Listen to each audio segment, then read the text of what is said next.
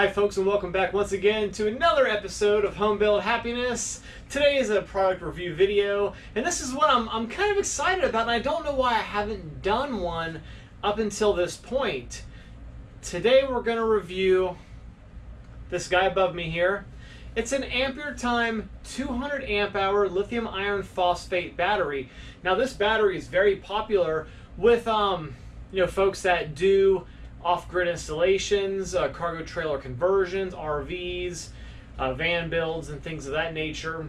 And the reason why is because lithium iron phosphate technology it allows you to hold most of the battery's voltage above roughly 12.8 12.8 to 13.3 it has very very very low uh, voltage drop under load.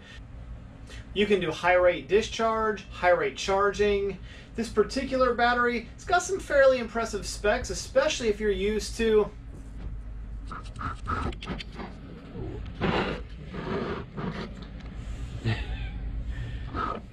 And look, even as you can see, even Durf the cat's interested in lithium iron phosphate batteries. If you're coming from the world of flooded batteries, this thing's going to be pretty impressive. He just can't get enough. Let's check it out. All right, and this is our battery. This particular one is the Ampere Time lithium iron phosphate 200 amp hour. They make two variations of this battery. One's got a 100 amp BMS, the other one has a 200 amp BMS. The model that I have is the 100 amp BMS. Nominal voltage is 12.8 volts. The length of this battery is 20.5 inches. The height is 8.54. And then the width of it on this, this side here is going to be 9.37 inches. The charging voltage is 14.4 volts.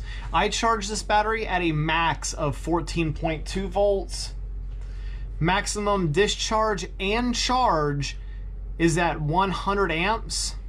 The recommended charging current is 40 amps. I currently charge this battery off of 400 watts of uh, monocrystalline uh, Renogy panels that are mounted on our roof.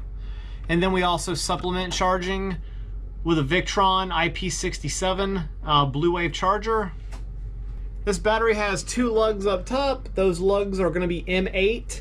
They are 16 millimeter. The total draw that you can take off of this battery is 1,280 watts. The energy rating from the manufacturer is 2,560 watt hours or 2.56 kilowatts. They say, depending on what information you look at from Ampere Time, they rate this battery at 4,000 cycles. Some say 4 to 8,000 cycles or 10 years. As far as the temperature, this battery does not have low temp charging protection. You can charge it from 0 degrees Celsius to 50 degrees Celsius. And you can discharge it down to minus 20 degrees Celsius all the way up to 60 degrees Celsius. For those of you who are concerned with what all the charging and discharging parameters are on this battery,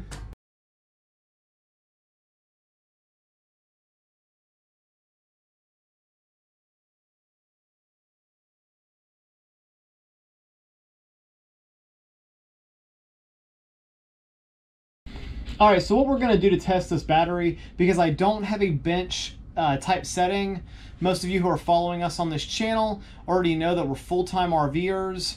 We rely on this battery every day for our electricity, so I don't have a, a bench testing type environment. What I am going to do, we have a, uh, a watt meter that's hooked onto the inverter.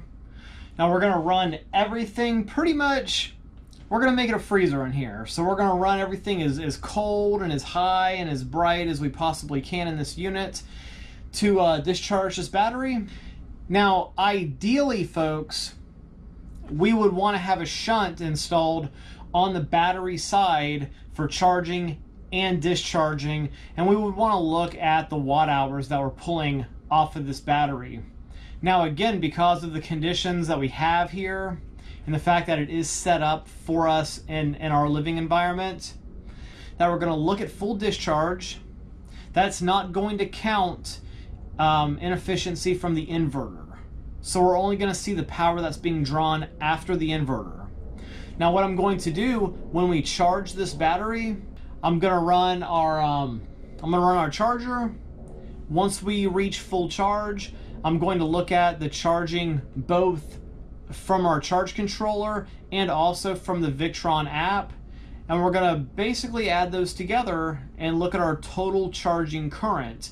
Now, a caveat that I'm going to make to this is that I'm not going to do a true full discharge. We're going to run it at our discharge rate, which is going to be around 400 to 500 watts. Under that voltage drop, when BMS cuts off, I'm going to end the test. I'm not to lower lower the draw and then continue to draw it all the way down to zero. With that being said, if I get 90% capacity, I'm to be happy with that because I'm not taking it down to true zero. For those of you who are looking for more of a, a bench testing environment type test on this battery, Will Prouse over at Will Prouse DIY Solar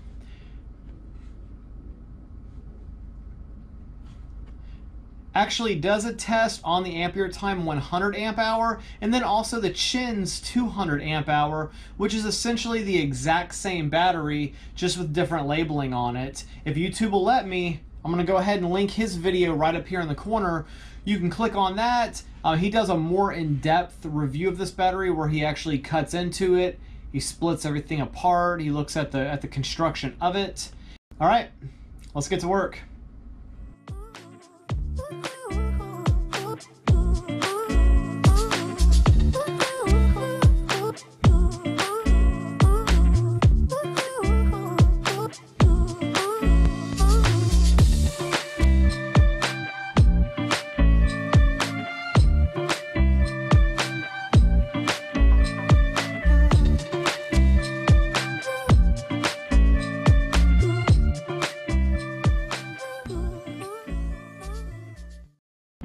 All right, so there we go. So it looks like we were able to get about eight and a half hours out of this battery. Our draw peaked out a little over 900 watts. I believe 909 was the max draw that we got.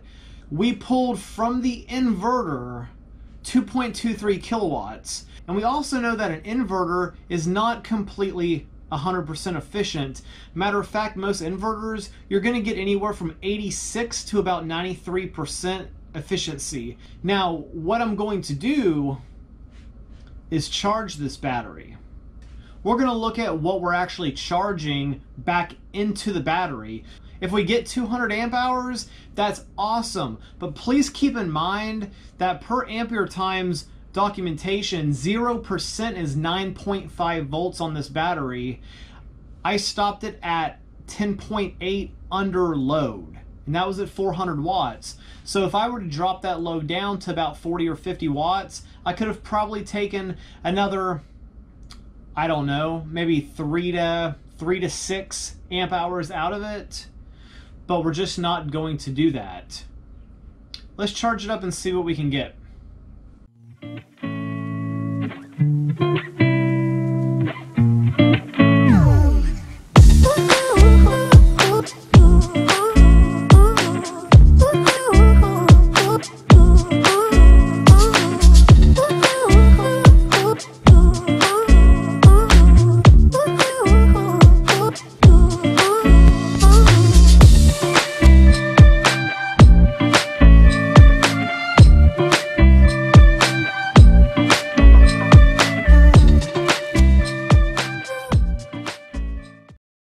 right, so it looks like all in all, with our charging, we mm-hmm. pulled about 45 amp hours off of our charge controller and it's in Florida. It's a rainy day right now. It's in the late August, so we're getting showers every day. So off of solar, we pulled 44, almost 45 amp hours. And then we pulled just shy of 151 amp hours off of our Victron charger. So with that, it looks like we actually got a complete draw of 195 amp hours. Now also keep in mind that we were still in absorption charge when I ended this test, so we weren't even in storage yet. So with everything taken into account, I'm very satisfied with this battery.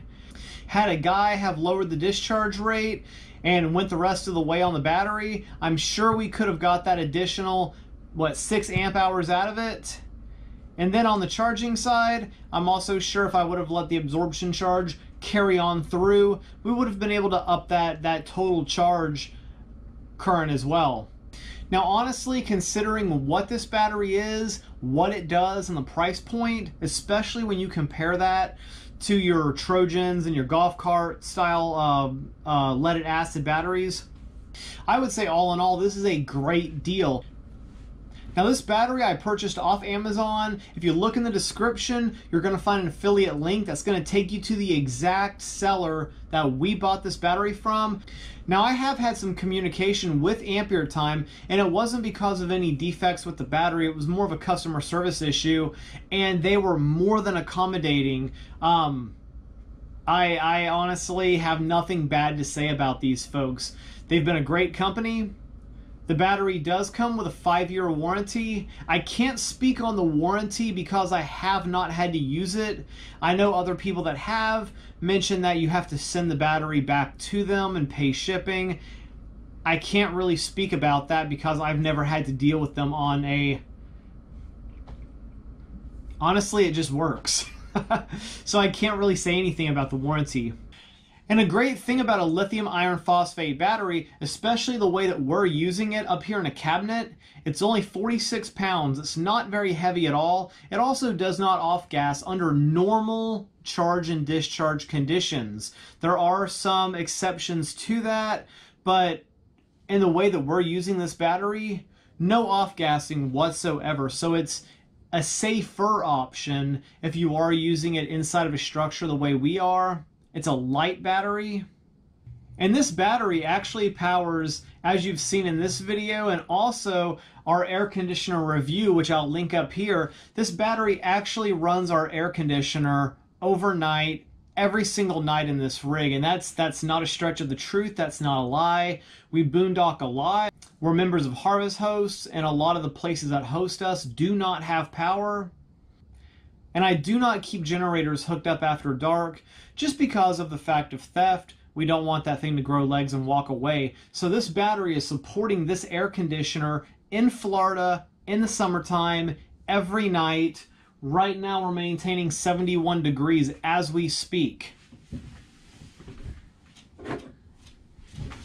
And you can see right there, we're set to 71. It is 72 degrees in here.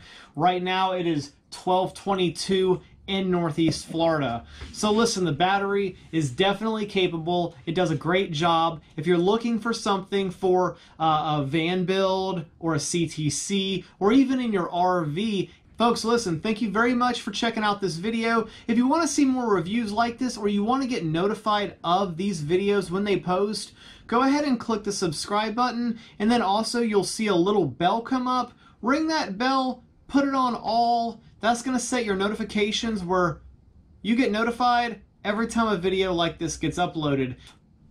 We'll see you next time. Have a good one.